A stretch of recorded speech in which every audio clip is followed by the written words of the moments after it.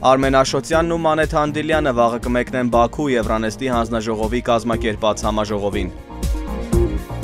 Սասնա ծռերի գործով դատական նիստը հետաձգվեց, պաշտպանների նկատմամբ սանկցիա կիրառվեց։ Արտաշատի Եղեգնավան գյուղի շրջանում թուրք սահմանախախտ է ձերբակալվել։ Սերժ Սարգսյանը հանդիպել է ՄԱԿ-ի գլխավոր քարտուղարի հետ։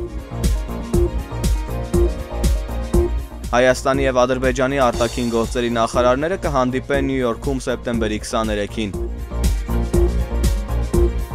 Էրդողանը ՄԱԿ-ի ամբիոնից անդրադարձել է Ղարաբաղյան խնդրին։ Ուկրաինական նավթոգազը դիմել է միջազգային դատարան Ռուսաստանից պահանջելով 5 միլիարդ դոլարի փոխհատուցում Ղրիմում մնացած ակտիվների դիմաց։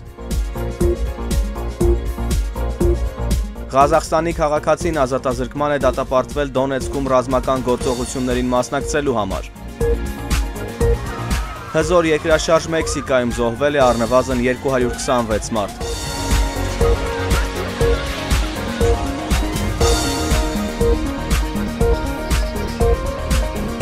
Եվրամիությունը դեմ է հանդես եկել Քրդստանի անկախությանը։